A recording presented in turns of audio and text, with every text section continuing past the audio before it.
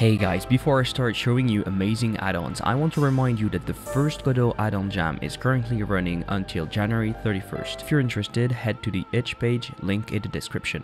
Let's start with a simple but amazing add-on for 3D users. Blender 3D Shortcuts by imjp94. If you've ever used Blender, you've probably learned the different shortcuts to move, rotate, scale, etc. Well, with this add-on, you have all of that inside Godot now. G to move, R to rotate, S to scale, H to hide, and the ability to choose one axis and much more. You even have the ability to easily toggle between global and local transform by double pressing the axis you want to move in. I won't go over all the things that you can do, but trust me, just try it and you'll see how working in 3D with Godot just becomes easier with this add-on. For those that entered the add-on jam, this is an amazing example of a feature that could be inside Godot, but can easily be tested as an add-on first.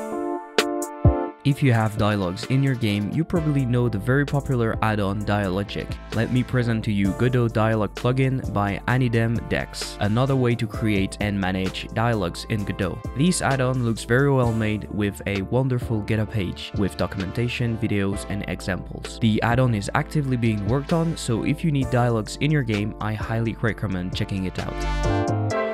Maybe you've heard of super sampling techniques like NVIDIA DLSS and AMD Fidelity FX. The latter is open source and will probably have it in Godot in the future. In the meantime, Godot Superscaling is a custom open source implementation by CyberReality. It allows you to downscale or upscale your game with few noticeable loss in quality. The main advantage can be to run the game at a lower resolution for performance reasons and use the add-on to upscale the image to 1080p or 1440p for example. This allows less powerful computer to run the game at higher resolution without everything being blurry or bad looking. If you're interested, there's a demo on itch where you can play around the various settings and also a video on YouTube with some explanations. Cyber Reality also made a proposal on GitHub to integrate this technique into Godot Core. Check it out if you're interested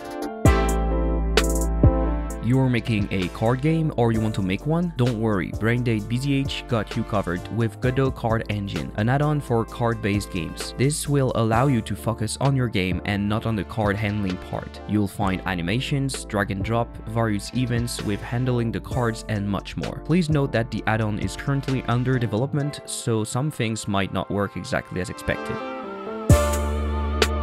This add-on, Godot Clipboard Panel by Thane5, is a perfect example of a simple add-on that can reduce friction when you want to work with Godot. It allows you to have unlimited text containers as custom editor panels where you can store text and then retrieve it by clicking on a button. It's the kind of things that can make your life so much easier and it's pretty easy to implement. Well done for this simple and effective add-on.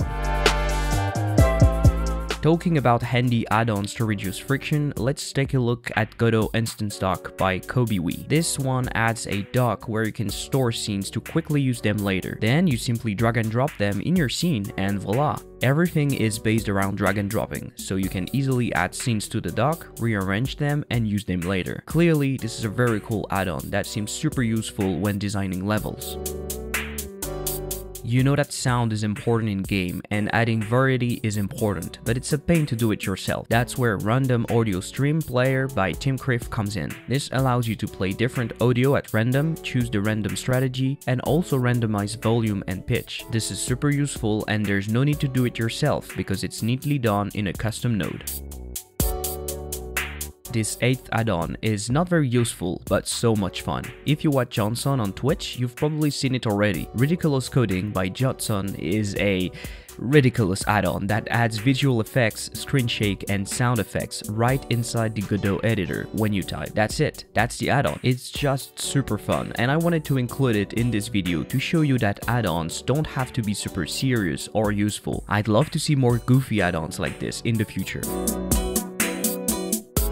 you are making tutorials or teaching how to use Godot, then check out Godot Screencast Keys by Dueddel. You simply add the Screencast Keys node to your scene and the key presses will appear on your screen. On the node itself, you can decide where the keys are going to appear and also the max number of keys that should appear on screen. Pretty useful especially if you're using a lot of shortcuts during your presentations. Jam Countdown by Andres Gamboa is a very specific add-on that can be especially useful, well, during jams. It simply adds a timer on the top right of the editor. You can configure the jam title and the end date and then boom, you have your own little timer right inside Godot. This can be especially useful for short jams and if you're streaming your process online. I'll probably use this one next time I'm streaming a jam. This add-on can be very useful if you need a weapon menu for example. Godot Radial Menu by Tavurth is a very cool add-on and super easy to use. You add the Radial Menu node and then simply add buttons to it. It has support for signals such as hovered and selected so you don't have to write custom logic. You can check the GitHub page for the various settings that are available like the size, the colors, etc. The last add-on of this showcase is awesome if you work in 3D. Godot PLY by Jarneson is an in-editor box modeling. What does that mean you might say? Well, it allows you to create 3D models by extruding, scaling, and moving vertices around right inside Godot. This can be tremendously useful to prototype levels with Godot. CSG nodes are cool, but also pretty slow in some cases. With this add-on, you simply create your model step by step, just like if you were 3D printing it. And you know what's even cooler? It will automatically update collisions if you put a collision shape as a child, meaning that when you're done editing, you can jump right into testing. This is definitely a time saver when working with 3D. It's a very new add-on and in active development, so if you're interested, go check it out now. I hope you like the add-ons I showcased today. If you have a cool add-on that you want to share, please do it in the comments below. Please don't include links as YouTube will automatically remove those comments. I try to show a variety of add-ons with complex ones but also very unique and focused ones that you can reproduce. If you're interested in getting your hands dirty with add-ons development, you still have time to join the first edition of the Godot add-on jam. It's running from January 20 until January 31. Check out the itch page, link in the description. Don't forget to join the Discord if you want to discuss the jam or anything else, I hope to see you in the submissions and we'll see each other in the post-jam showcase video. In the meantime, have a great day and I see you later. Bye!